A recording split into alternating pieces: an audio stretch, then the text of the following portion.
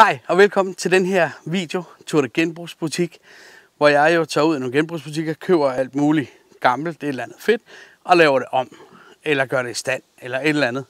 Den her video er ikke helt som de andre, fordi i den her video, der starter vi med slutningen. Så hvis I gerne vil se, hvordan jeg har lavet den der skammel, så bliv lige her på kanalen, og så se videoen, som kommer her lige bagefter. Men vi starter med slutningen, fordi jeg er der ikke ser videoen til enden. I slipper ikke for at se det færdige resultat. Jeg købte en skammel i en genbrugsbutik for 60 kroner og har sat noget skind på. Et helt skind, jeg har købt til 200 kroner på markedspladsen på Facebook.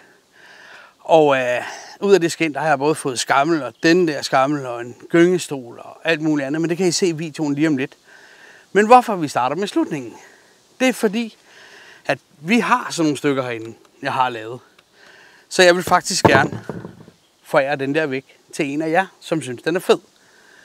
Og det man skal gøre for at få den der, man skal lige abonnere på kanalen, ganske gratis. Giv den et like. Og så skal man dele denne her video så mange gange man kan på, øh, på de sociale medier. Og så skrive hernede i en kommentar til videoen på YouTube, hvor mange gange at man har delt videoen. Jeg ved godt, det kan jeg ikke tjekke noget som helst om. Men jeg stoler på folk, når de siger, at de har delt den 5 eller 6 eller 10, eller måske mange flere gange. Og den, som har abonneret og givet den tommelfinger og skrevet, hvor mange gange de har delt den på de sociale medier, den, der har gjort det flest gange, får den her fede stol med koskin på. I kan jo se i videoen her, der kommer nu her, hvordan den så ud før. Det var ikke, øh, det var ikke noget, man ikke de fleste ikke ville have stående. Men den der, den passer der ind i et hjem til, øh, til her i år 2022. Så husk, del den alle de gange I kan på de sociale medier. Giv den en tommelfinger og abonner. Den, der har gjort det flest gange, der skriver det andet, får den stol. I kan komme og hente den, eller, eller jeg kan sende den til jer. Og så husk lige, kan det staves, så kan det laves. Også i genbrug. Og hvis I vil se, hvordan jeg har lavet den der på kun 10 minutter, længere tid tager det ikke, så se i videoen lige nu. Vi ses i næste Tour de Genbrugs video. Hej. Hej og velkommen til igen. I dag har jeg igen været i Tour de Genbrugs butik for at finde nogle fede ting til næsten ikke nogen penge, som, øh, som jeg vil lave om. Den her gang der har jeg været i Kirkens Kors her i Grænsted. Jeg må da ikke filme derinde, så sådan er det. Sådan er det nogle steder. Det er jo frivillige, der er der, så det accepterer jeg. Det respekterer jeg fuldt ud. Sådan er det. Jeg købte denne her, den her skammel. Fed skammel, som kan, øh, som både kan køres op og ned og i den højde, man vil. Men jeg synes, jeg synes ikke, den er, øh, den er måske ikke så pæn. Jeg vil i hvert fald gerne prøve at gøre et eller andet andet ved den. Så jeg tænkte, at øh, jeg vil betrække den. Jeg købte på et tidspunkt i, øh, på øh, Facebook, på markedspladsen, sådan en skin her. Sådan øh, sortbrød koskin til 200 kroner. Der er jeg klippet meget i det, fordi jeg har både lavet skammel og gyngestol og alt muligt ud af det i forvejen. Så det vil jeg prøve at sætte på, men jeg vil gerne have noget, hvor der både er sort og hvidt og det. Så det skal, det skal jeg lige finde. Og så sætter vi der lige en gang, øh, sætter vi lige en gang betræk på. Og det er altså ikke så svært. Det kan alle finde ud af, også ens børn. Det kan være, at man lige skal hjælpe dem med at skære, skal jeg skinne ud, men øh, skal vi ikke se, om vi kan øh, få gjort den noget federe? Bum, bum. Så vil vi gerne finde et sted. Det kunne det være. Det kunne faktisk være lige her, fordi der er både sort og hvidt og nogle sorte pletter. Og... Ah, den hænger fast. Ja, man kan godt se, at jeg har skåret en del i det. Nå, det hænger der noget fast der. Hvorhen det var, jeg gerne ville have den. Det var her.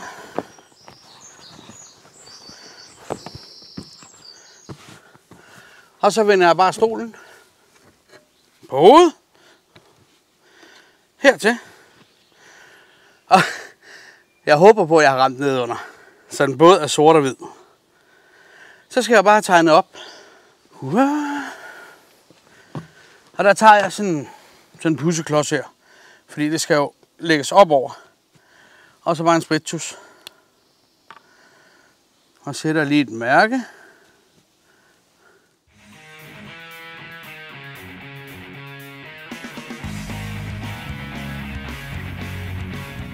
Sådan. Så flytter vi lige dig to minutter. Og så tegner jo lige, hvor, hvor jeg skal skære.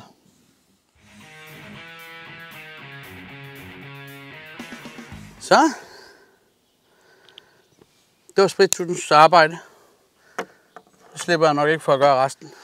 Så tager jeg bare sådan en helt almindelig hobbykniv. Og så skal man huske normalt, når man skærer skind, så skal man kun skære lige igennem skindet. Ikke helt ned igennem hårene. Det kan komme til at se frygteligt ud. Her gør det ingenting, for det kommer jo ind under. Men for en god ordens skyld, så er det bedst kun lige at skære igennem skinnet. Det giver en masse hår, det her.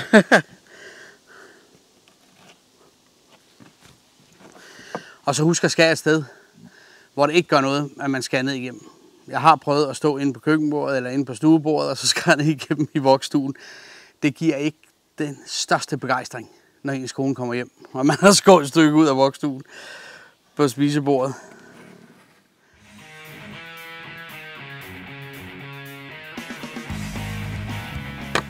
Sådan. Pff, man får hår over det hele.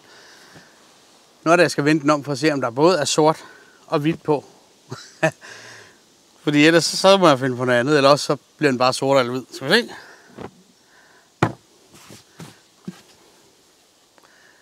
Det bliver da godt. Det var lige nøjagtigt det, som jeg gerne vil have. Så skal vi bare have flyttet. Det, puh, der er mange hår. Jeg skal vist mere end bare lige igennem skinnet.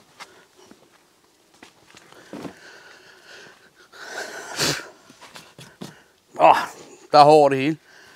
Så lægger vi den her. Her. Up, der skal vi ikke bruge mere.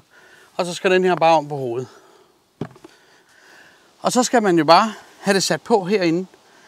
Problemet er lidt øh, øh med, med det her for mig. Jeg kan ikke tage de der søm. Det kan, man kan bare bruge helt almindelig søm og sætte på. Men når jeg kun har en arm, så er det væsentligt nemmere med sådan en helt almindelig hæfteklamme pistol. Så skal vi ikke se, om, øh, om vi kan få det på?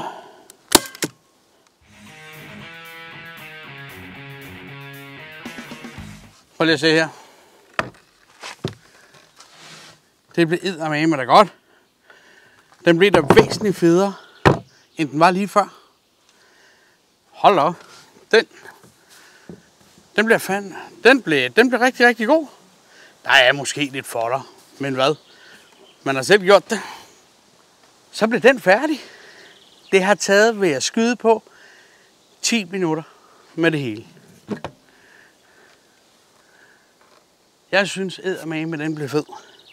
Den passer da lige til en ekstra skammel, eller børneværelse, eller et eller andet, og man kan jo køre den op, hvordan man vil have den. Eller til kontoret, sådan en ekstra skammel til kontoret, når ungerne kommer ind, der skal være med. Den synes jeg, den bliver da, den bliver da meget bedre end før. Det... Og ved I hvad? I en, i en genbrugsbutik til 60 kroner, og der er skin, hele det der, hele skinnet, koster 200 inde på markedspladsen. De ligger, de der brugte koskin, i alle mulige farver, fra 100-150 kroner op til 500.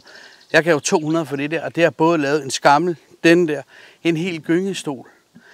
Så der er vel for en 20 kroner. Så alt i alt, så er den her, den har kostet 80 kroner at lave, og den ser lidt bedre ud end før. Det svarer da lidt mere til 2022. Det her, det bliver så videoen for i dag. Hvis I gerne vil have nogle flere af de her tips, så husk lige at abonnere på kanalen, fordi så får I helt automatisk en besked næste gang, når der kommer en video. Og abonner på kanalen her. Det er ganske gratis. Man skal huske, kan det staves, så kan det laves. Også i genbrug til ikke ret mange penge. Og det her, det synes jeg, at det bliver fedt. Det er simpelthen blevet fedt. Vi ses i næste Tour de Genbrugsbutik video. Hej.